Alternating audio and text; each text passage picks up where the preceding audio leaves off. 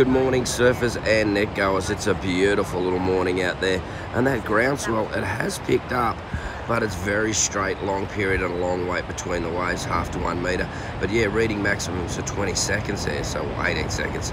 But um, yeah if you're looking for a bit of a wave this morning there's plenty about. Light westerly winds 9:30 high tide. Water temperature about 22 degrees.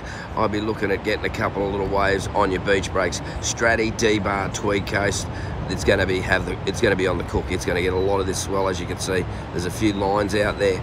Otherwise beachy spits out to about Miami find the bank a bit of fun and you might get an occasional one on the point but yeah a little bit of size around but it's a long wait. I'll catch you in the waves